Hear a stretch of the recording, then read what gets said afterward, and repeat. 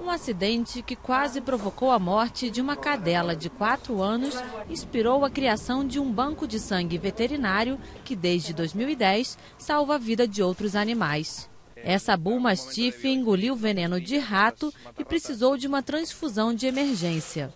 Passado o susto, seu dono decidiu montar este laboratório para facilitar o acesso de hospitais veterinários a todos os tipos de sangue. Os doadores são levados pelos próprios donos e, em outros casos, vivem em centros de proteção de animais. Os cães realizam o trabalho solidário a cada três ou quatro meses. Todos os donantes devem de ter alrededor de 25 quilos. A veterinária Balcis Mitianas afirma que para ser doador, o cachorro precisa ter mais de 25 quilos, entre 1 e 9 anos, possuir um caráter dócil e não ter sofrido nenhuma doença infecciosa.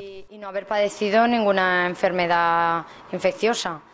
Hoje, o laboratório Montoro Botelha possui 120 cães doadores registrados. É uma ajuda mútua.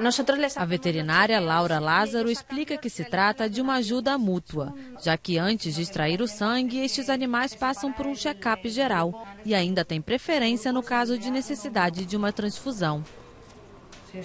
Sim.